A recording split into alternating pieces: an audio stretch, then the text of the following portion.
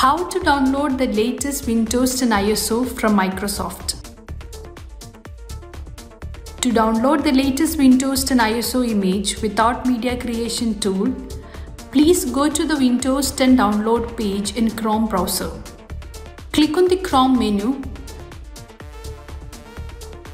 then More Tools, then click on Developer Tools. Click on the menu that shows responsive and select iPad or iPad Pro so that you can view the page better. Please change the screen size to 100% so that you can see the web page better. Now reload the page and Microsoft Sites will now offer you the Windows 10 ISO instead of the media creation tool.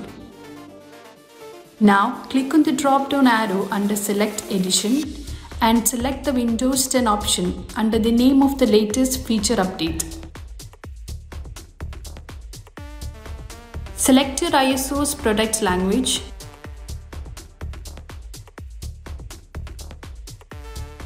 Finally, you'll be asked whether you want to download a 32-bit or 64-bit version of the Windows 10 ISO. The ISO download link generated by Microsoft site will remain valid for 24 hours. After 24 hours, the link will no longer work. Hope this video helps you. For more videos, like, share and subscribe our channel.